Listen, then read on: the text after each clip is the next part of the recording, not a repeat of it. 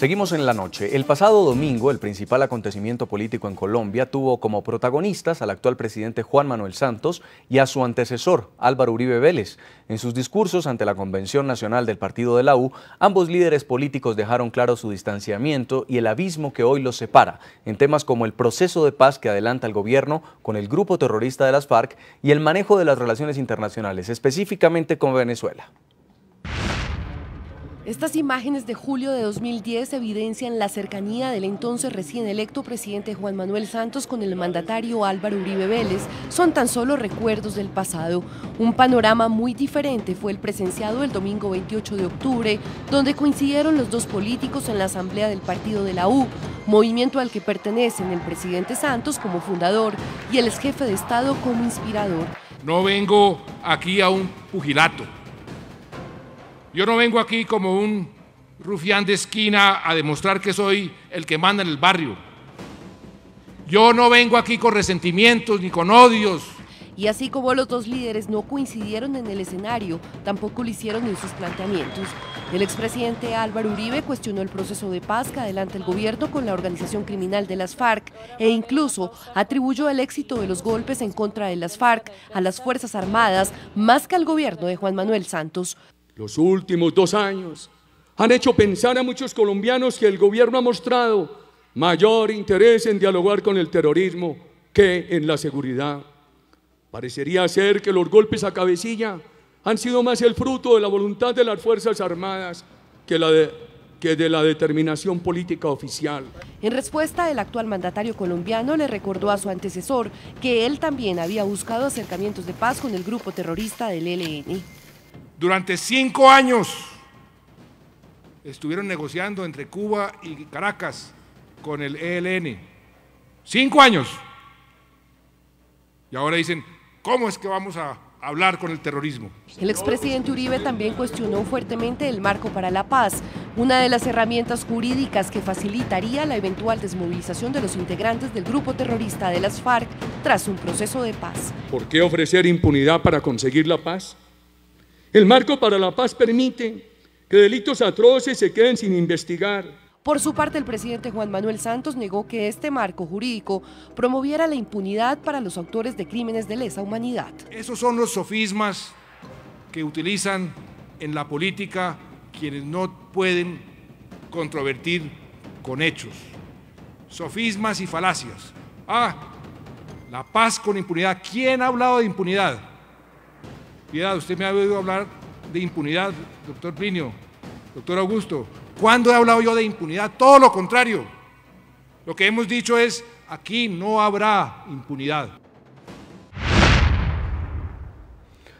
Senador Juan Carlos Vélez, si el partido de la U quiere continuar en el poder, eh, ¿va a llegar dividido a una eventual reelección? ¿Qué podría pasar si bien los votantes eh, que eligieron al presidente Juan Manuel Santos esperaban que la política de seguridad democrática de una mano dura contra las FARC continuara y ahora eh, se encuentran en medio del proceso de paz?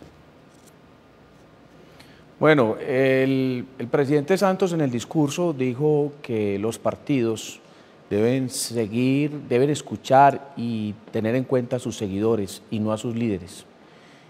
Esas son las palabras de él en el discurso. El partido de la U en sus bases, eh, sus concejales, sus diputados, sus dirigentes regionales, quedó demostrado en la asamblea del pasado domingo, está con el expresidente Uribe. Esa base de la U, ese sentimiento está en el expresidente Uribe. El Congreso, los parlamentarios principalmente, eh, los ministros y otros están es con el presidente Santos. Entonces, eh, vamos a vivir un proceso muy difícil, indudablemente, en este próximo año. Se, tendrán que suceder mm, cosas como, por ejemplo, un candidato que va a proponer a la presidencia al expresidente Uribe, que va a ser diferente al presidente Santos y busca la reelección.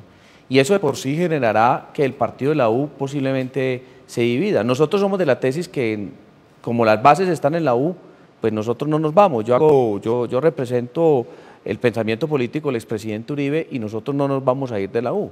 Eh, nosotros creemos que es un partido que se identifica con el pensamiento político del expresidente Uribe y no tenemos por qué irnos y ese es el mensaje que, nos han querido dar, que si no estamos con, el presidente Santos, pues nos tenemos que ir o con la reelección del presidente Santos. Vamos a ver qué opina el senador pues, Benedetti. ¿Qué va a pasar con el partido de la U? Bueno, a ver, eh, lo primero que hay que decir es que la asamblea de la U salió pésimo, pésimamente mal. O sea, no, yo nunca he visto una asamblea que diera tantos mensajes equivocados como este. Fíjese, mire este. En la Asamblea se propuso una proposición para que se apoyaran los diálogos de paz y no se votó porque se hizo guachafita. Entonces, parecería que estuviéramos en contra de la paz, pero no estamos en contra de la paz. No estamos, no estamos en contra de Santos y parece que estuviéramos en contra de Santos. Parecería que estuviéramos desunidos. Nosotros no estamos desunidos. Que me corrija el doctor Juan Carlos Vélez. Nosotros somos casi 80 congresistas. Solamente el doctor Juan Carlos Vélez y Miguel Gómez son los únicos dos de 80 congresistas que les gustaría estar en otro partido o con el presidente Uribe en otro partido. Con eso le estoy diciendo que de dos de 80 es un porcentaje muy bajo para que alguien hable de desunión. Yo quiero que el doctor Juan Carlos Vélez siga en el partido de la U, así como yo defiendo las minorías sexuales, la eutanasia, las minorías políticas, religiosas. También aquí hay una minoría dentro del partido la U que se expresa en contundencia en las ideas del doctor Álvaro Uribe y por lo tanto hay que darle todas las, las, garantías para que Juan Carlos Vélez y Miguel Gómez estén aquí. Yo me sentiría muy triste, y lo digo con, todo el cariño, si el doctor Juan Carlos Vélez se fuera del partido. Que haya este ojo crítico al proceso. Que haya este ojo crítico y que, y como en todo partido, que existan contradicciones. Y le repito, yo le tengo mucho cariño al doctor Juan Carlos Vélez, así no, nunca estemos de acuerdo en absolutamente nada, pero realmente yo quisiera, y yo me pusiera muy triste si él realmente se va del partido.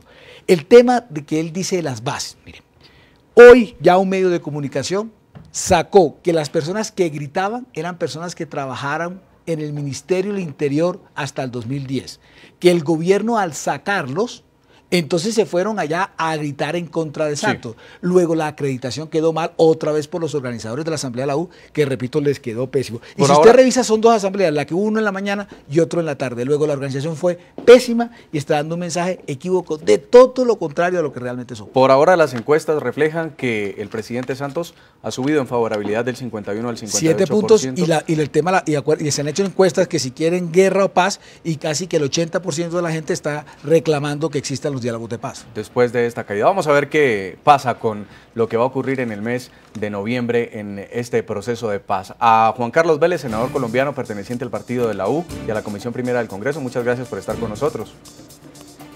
Bueno, muchas gracias nuevamente por invitarme a su programa y un saludo muy cordial a la teleaudiencia. Senador Armando Benedetti, también perteneciente al partido de la U, gracias por habernos acompañado. Muchas gracias por invitarme y que Dios le pague. Muy amable y a todos nuestros televidentes los invito a que envíen sus comentarios a www.ntn24.com.